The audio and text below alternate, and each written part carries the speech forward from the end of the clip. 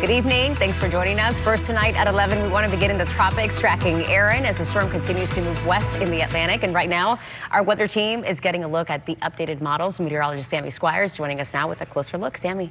Hey, honey, yeah, we are tracking still Tropical Storm Erin. I thought it was going to be close here. 70 mile per hour winds. It does become a hurricane at 74, so we're right on the verge there.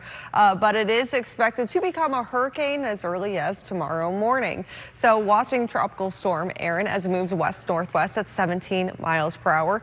It will become a Cat 1 hurricane and eventually strengthen over this weekend where it could even become a major hurricane with our newest cone here showing a Cat 4 as a potential here. So there is a good chance that it's going to be a very strong hurricane as it comes up and nears portions of the Bahamas before taking that turn away from the U.S. But of course, we are going to be watching it due to its close proximity, and it's going to really pick up our swells here along our coastline. So watching it through the weekend and through next week. Other than Tropical Storm Erin, we are also watching one other area for potential development. It has a 50% chance of developing in the Gulf here, right on the border of Mexico and southern Texas towards the Brownsville area, where there could be a tropical depression that develops within the next day or so.